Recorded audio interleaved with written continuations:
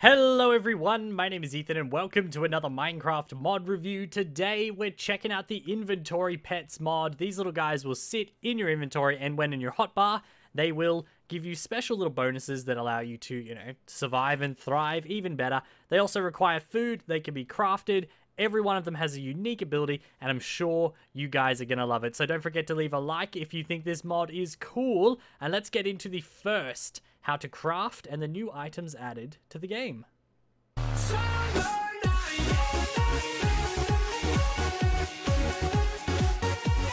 Alrighty guys, so the first thing we have to talk about is the series of new nuggets that have been added to the game, ranging from coal all the way up to emerald. So we have coal, iron, lapis, diamond, emerald, and of course, obsidian. And obviously, there's gold nuggets that already exist in the game.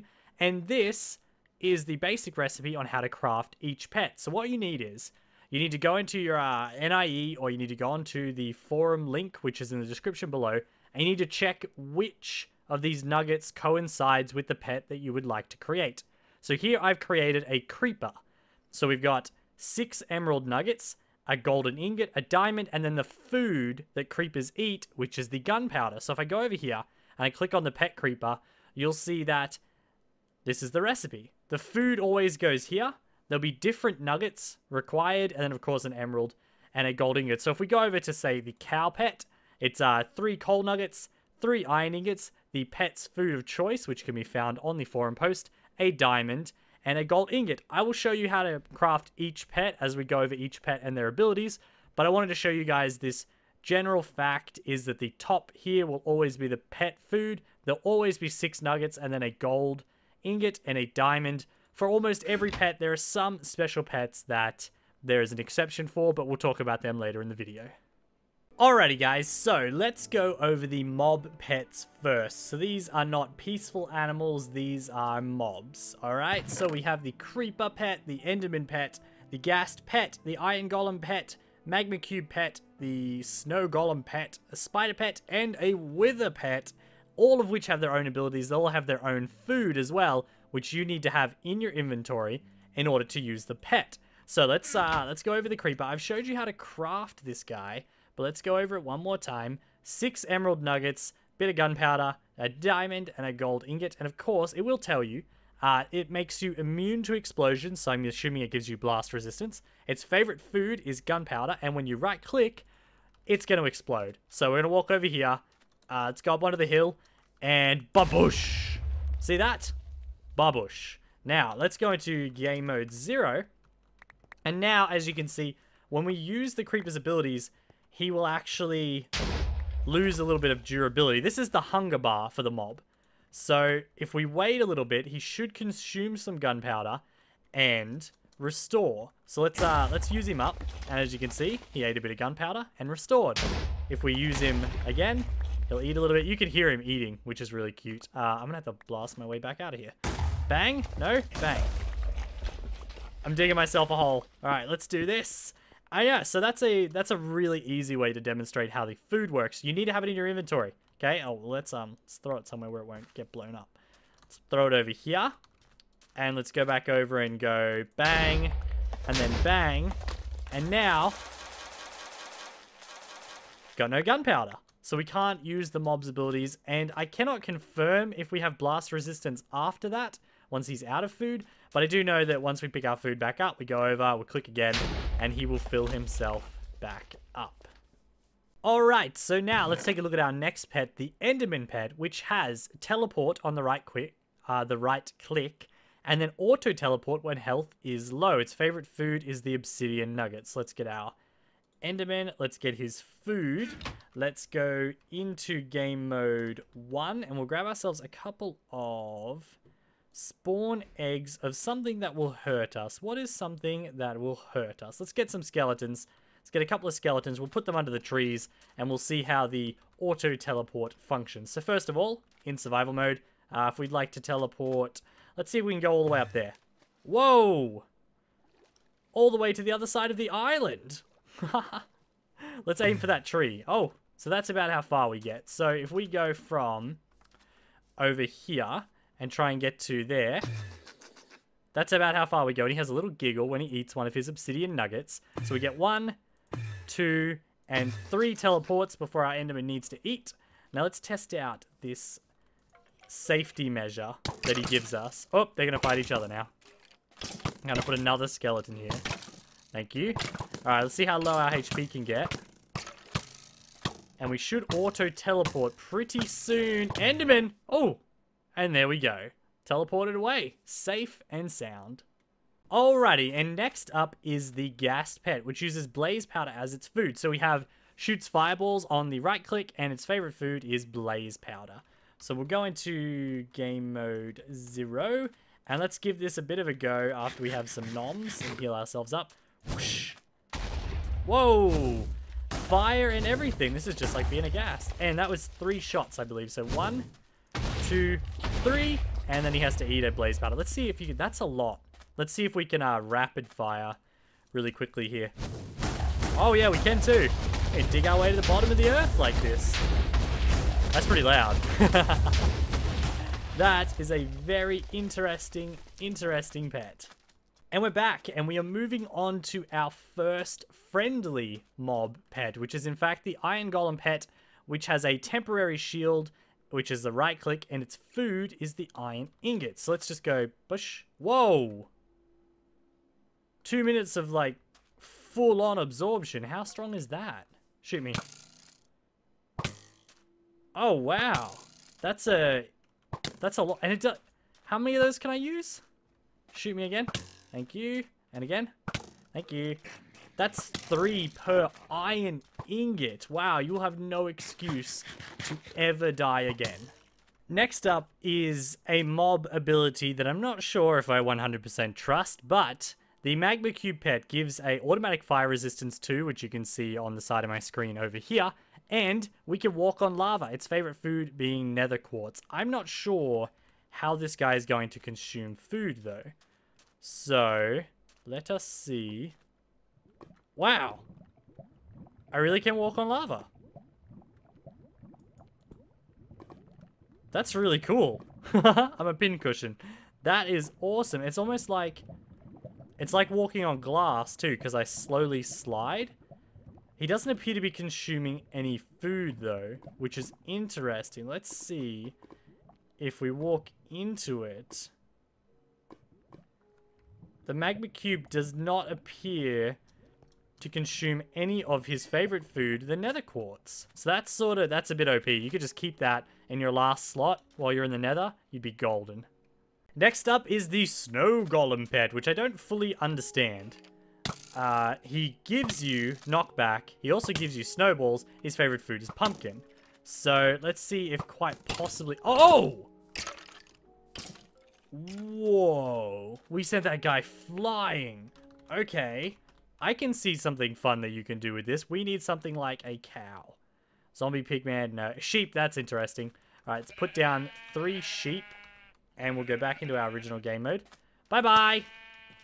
Bye-bye! Bye-bye! That is fantastic. He also apparently gives us snowballs. Not that I am seeing any. He's also not consuming any of his food, I have noticed. Just like the last pet. He doesn't seem to eat much. His favorite food is pumpkin, which I have.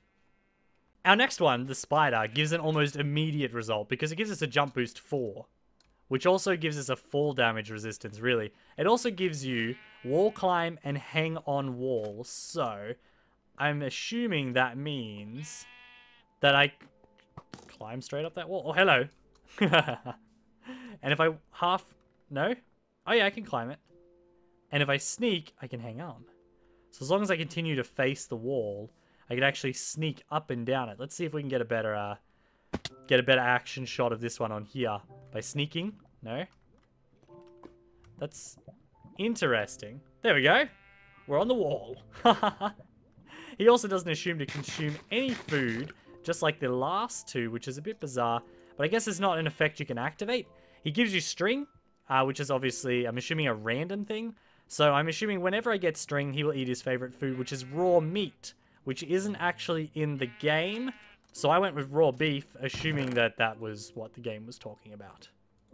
It is time for our final mob pet, the Wither Pet, which has lifesteal 25% and also immune to the Wither effect, its favorite food being Soul Sand. So let's chuck down a skeleton, get shot a couple of... Oops, don't light yourself on fire. You okay? Alright, I'm gonna get a new one because you're not very good at your job. Alright, so let's see if I lifesteal with a regular weapon. So we'll right click and hopefully get the effect. Oh yeah, I am too. I am lifestealing. You see that? Alright. One, two, lose a bit of HP, and then life steal it back. That is a handy one to have on your bar. Oh, can't get close. Getting shot too many times. Life steal. That's fantastic. And it would appear that the only time the Wither is going to consume food is when you're actually being immune to the Wither effect, which is also really helpful in a Wither fight. Alrighty guys, it's time to move on to the peaceful pets, and we're actually going to start blitzing through these a little bit faster as well. So for your peaceful pets, there's a few less. You've got the chicken, cow, ocelot, pigu, sheep, and of course a squid, all of which use the following foods. The chicken enjoys seeds, the cow enjoys wheat, the ocelot just likes fish. Ah, cooked fish. There we go. There we go. Cooked fish. Okay. And our pig likes carrot, sheep likes wheat, and of course our squid likes raw fish. So let's get each guy out. One, two, oh, let's get them out one at a time really quickly. Let's get out one at a time. So our chicken gives us a speed boost. It'll also give you eggs, and that's what it's going to consume its food. So you can see we get a speed 4 boost pretty quick. Pretty, pretty decent stuff. So let's put that away. Let's get our cow. Removes negative potion effects, fills empty buckets with milk. Its favorite food is wheat, which is there. I can't really show that. So now for the ocelot pet, we get night vision, scares away creepers, and catches fish when near water. So let's do that. So let's get ourselves this. See if we can't catch ourselves a fish. Come on. There it is. That was easy. Where'd that go? There it is. Ha! That is fantastic. Alrighty, next up is our pig, and we need to go into game mode 0 for this one. Apparently, the pig boosts hunger saturation, can eat poisonous foods, and gives you pork chops, its favorite food being carrot. So we need to very, very quickly make ourselves hungry, I think. So I've got increased food saturation, which means that it's going to take me longer to get hungry than it normally would, which it definitely is. Alright, now let's go ahead and eat. And that should have increased the saturation that I got from my pork chops, making it longer before I will need to eat again. Moving on to our sheep. It gives you slow fall, wool, and its favorite food is also wheat. So let's see if we can get the slow fall to work. I was unable to get this to work during testing but that could just be me. Let's see what happens. So, I got the, I've clicked with it a bunch. Hup. Oh yeah, do you see that? No damage, and I slowed down right before I hit the ground. That's really cool. The sheep would be a handy one to have when exploring, for sure. Moving on to our final peaceful pet, which gives the squid pet, it gives you water breathing, underwater vision, and a swim boost, its favorite food being raw fish. So, let's jump underwater. Night vision. Ooh, the swim boost is nice. You don't sink as fast, and it's actually really laggy. Makes me lag a little bit. It's a little bit hard to control, but that is really cool. So uh, even if you're not holding it, you still get it. Okay, that's really neat. The, the squid is quite the handy companion. Alrighty guys, so next up we have our utility pets. Now these ones are really self-explanatory, so I'm not going to actually show you the abilities because you've seen all this stuff before. But basically, our first one is the Anvil Pet, which slowly auto-repairs any of your items whilst the Anvil Pet is sitting in one of your nine hotbar slots. Won't do anything if it's sitting here, but if it's sitting here, it will, alright? It also damaged or, slowly auto repairs damaged items in your inventory. It also, its favorite food is the iron nugget which can be made by just putting an iron ingot in, getting nine nuggets, just like you would with a gold ingot. Next up is the bed pet, which obviously allows you to sleep during the night. Its favorite food is wool, very simple. Next up is the brewing stand. Now this one brews random potions, its favorite food being nether wart. So for the cost of one nether wart, you get a random potion. Look at that filled your inventory with useful stuff. You got some instant health, some water. That's a lot cheaper than actually making your own potions, uh, is what I'm trying to get at. So let's quickly clear that. And now, moving on, our next one is the chest pet. Its favorite food is wooden planks, and it just opens a standard single chest like that. Next is your crafting table, which allows you to craft. Obviously, also enjoys wooden planks. Next up is our double chest, which I'll show you is a full double chest, just with a right click. Then we have our enchanting table, which allows you to enchant, its favorite food being book. Furnace smelts first item in hotbar when you right click, its favorite food being coal. So we'll have to show you guys this one. Let's go ahead, we'll head back here and we'll find ourselves some iron. Iron like this. Oop, that's not the iron I wanted. So all we have to do is right click. You could spam it, so it'll probably cost you one coal per ingot, but it's also a lot faster. After that, we have our jukebox, which plays a disc in your inventory, right click. You can pause or resume said disc by right clicking again, and skip to the next disc is by sneak plus right click. Its favorite food being redstone. That's really cool. And this next one, I personally think is probably the most useful if you're in the nether, definitely. If you ever get trapped in the nether, all you gotta do is right click, have some obsidian nuggets or nether quartz on you. Nether quartz can be acquired in the nether quite easily, and you'll be able to get back and forth. Actually, I'm not going to do that because it will cause lag.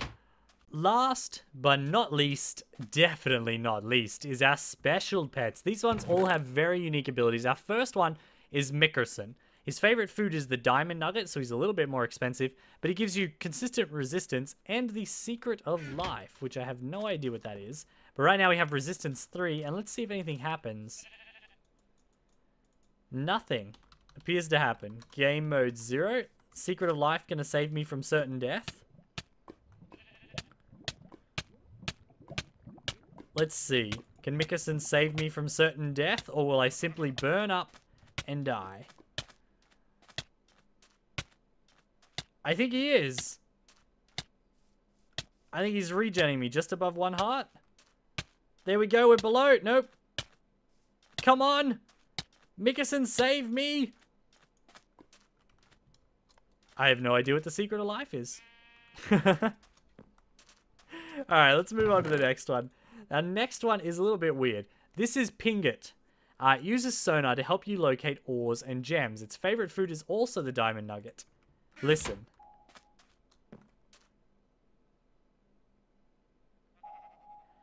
Hear how quiet that is? Let's see what happens when we get closer.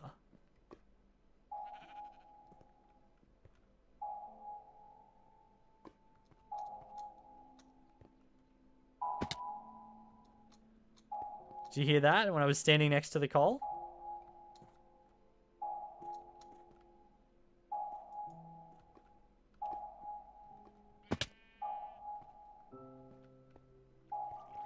Getting further away. Must be some around here somewhere. Let's get ourselves into game mode 1. We'll quickly grab ourselves a pickaxe. Oh no, wait, we can just break things. Where is the ore that is nearby, Pingot? Can you guys find it? I'm not very good at this. I honestly would never use Pingot myself. But, uh, there's definitely some ore around here somewhere for him to be beeping about. It's just a matter of finding it is what I find to be difficult. See, and it could be, could be picking up the coal here. No idea. But it's a very interesting concept. People who understand sonar better than me would be able to use this Pingot pet. The one, the ones on the end are the ones that I truly enjoy. But this next one is the Purplicious Cow Pet. Its favorite food being a diamond nugget. It gives you health regeneration and it fills empty buckets with lava. There's not really much I can show you with that. But yeah, he'll always have you on regeneration and it'll fill your buckets with lava. It's very handy. I hate collecting lava. Next up is the Quantum Crystal Monster, whose favorite food is the Lapis Nugget. Not very expensive, but he can summon minions. This is where things get a little different because there they are. They're really loud. And we get these sort of reskinned Enderman and this reskinned Blaze creature who will turn on you if you attack. They will turn on you. One down. So the others don't like me now. They get pretty mad about me killing their friend. But uh, let's kill these guys off. They're pretty tough. As you can see, they're pretty tough. They're also not affected by me turning down the volume. That's really cool. I think the Quantum Crystal Monster could be very handy in combat. Not as handy as this next guy, the Black Hole Pet. He has the ability to slow time. His favorite food is the obsidian nugget, and the best part about this pet is that your arrows stay at a normal speed. What does that mean? I'll show you what it means. Skeleton. 1. Let's get this. And we better put some skeletons under the tree here. Like so. Now let's go ahead and stand in front of them. Game mode 0. Normal arrows. Slow-mo arrows. You see how I'm slowing down time? There's nothing you can do to stop me, skeletons. I'm invincible. And it hasn't used any food yet. It'll just keep doing this. Just constantly. They're loud, but it will keep doing that. Let's quickly flash peaceful here so they can go away because they're so loud. And let's continue on. The black hole pet is overpowered. Not gonna lie. I think it's overpowered. But uh, it's also gonna make this constant sound now, won't it? Yeah, it's gonna make that constant, constant sound. Let's see if we can uh, See if I can turn that off. Alright, so with the horrible sound gone, we can now get onto the Cloud Pet, which actually gives Fast Flight, Lightning Strike with the right click, and its favorite food is Nether Quartz. So we're to have to grab some quartz to show you guys this one. Nether Quartz, let's get a stack. We have to go into game mode 0. So the first thing that you'll notice is that this guy casts lightning. Okay? Cast lightning pretty much anywhere that you click, and he'll eat some food. It's pretty, pretty strong. Oh. but if you also fly as if you're in creative mode, you can fly. He consumes food pretty quickly doing this, I believe. Although he doesn't appear to be anymore. Possibly when I land is when he'll consume it. Nope, it's only when he's shooting lightning, apparently. So we pop up in the air. You can fly. Vanilla Minecraft. Just flying around. Just whatever, man. Whatever. That's that's OP. That that's all that is. It's OP. Next up, we have the pufferfish, which gives you thorns and it makes you poisonous. Their favorite food being glowstone dust. I'm wondering about this one. The thing that I wonder about this one is, am I automatically poisonous? Yes, I am. There you go. You hit anything, you put poison on it. It's just like having a venomous sword or something like that. It's really cool. But last, and certainly not least is your slime pet, which requires a golden apple for its food. So let's go into game mode 1, get ourselves some golden apples, 64 golden apples. We might even eat one really quickly. No, actually, this will work perfectly. So the slime pet is going to save you from certain death. So let's go ahead and eat one of these real quick just to heal a little bit. All right, now we can go into this lava and start dying.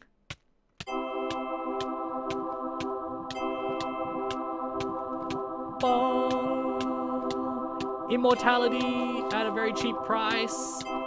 Because you get three lives per apple. You, it's seriously very hard to die. That's four lives per apple. Incredible. Absolutely incredible. I This one's a bit OP. This one I think is very, very OP. So let's jump off something with our low HP and see if we can uh, get healed by that. Because I'm pretty sure any form of damage this will save you from. Yep. See that? Very, very easy. Filled to full HP whenever you are, whenever you should die, essentially. When you should die, it will completely heal you. Alrighty guys, that's gonna do it for today's mod review. That was the Inventory Pets mod. I honestly think it's a little bit OP for me to play with. If they weren't so strong, or if they didn't give any effects and you just had to look after them like a Tamagotchi, I think I would play with them. Yeah, I think I would have them in my world just as like a pet that you have to look after. But some of those guys are a little bit too overpowered for me. But what do you guys think? You let me know in the comment section below if this is one that you would play with or not play with. You let me know. Don't forget to leave a like on today's video. Thanks for watching, and I will see you all in the next mod review. Bye-bye.